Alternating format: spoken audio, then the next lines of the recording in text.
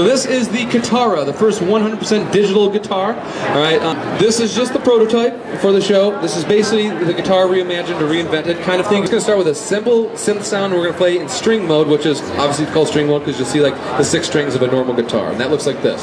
First, I'll go into my presets and pick one. By touching the four corners of the string, we get our presets. That looks like this. You can scroll up and down, grab one, load it in, and then it comes up.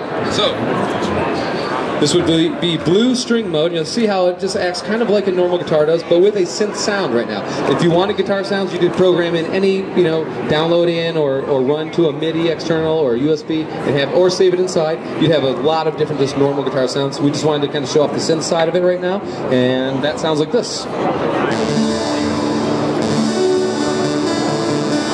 So whatever chord I'm playing or note I'm playing on the neck, that would correspond to the original chord. Like this would be a basic D chord. Okay. You can also have each string tuned any way you want. You can tune an open, uh, you know, an E7 or an open G or anything like that. But as for this, we're just gonna do standard, uh, you know, E tuning. There's zero latency, so anything I play, it picks up. So I'll just pick through a couple chords and it sounds like this.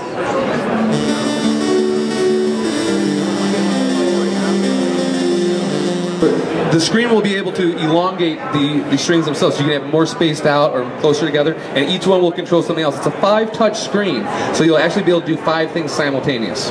Um, how will it be adopted into live performances? Very easily. Um, I'm a professional guitar player. Um, I played for Eminem, Avril Lavigne, lots of different people.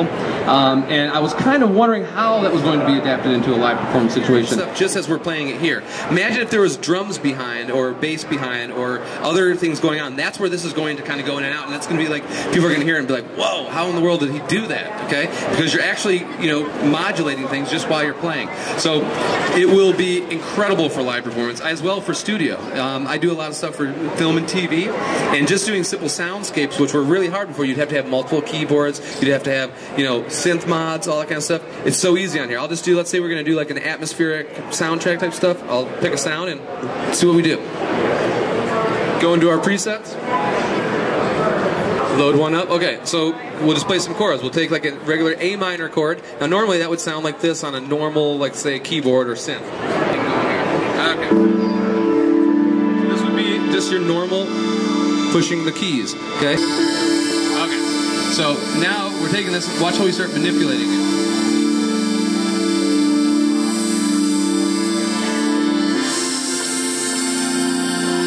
I'm actually using four different algorithms at once all being controlled by the right hand. Now, normally, just to do something like that, you would have had add multiple keyboards, be able to bend it, and have synth modules. All these things will be built right inside. Okay, next question. Right, how long will it take before I think these will be in every studio across the country? Not long. Not long.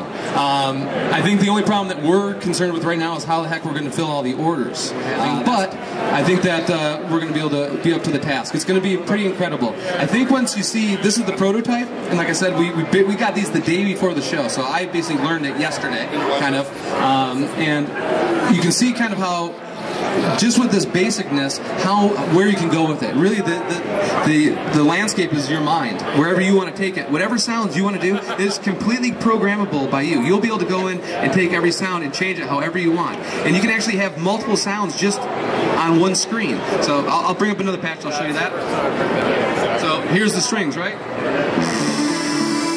That's the sound. But watch if I just move over one inch. Completely different sound. I love this one just because it sounds so darn wacky. Everyone's like, imagine if you're in the middle of a, of a, song, right, and all of a sudden you start going, you're gonna be like, what in the world? How's he doing that stuff, right? It's pretty insane. Left-handed version, very good. Uh, Michael, you want to handle that one? Just turn it over. there you go. You'll actually be able to turn it over, and then the strings and everything will be will, will move and do the same thing.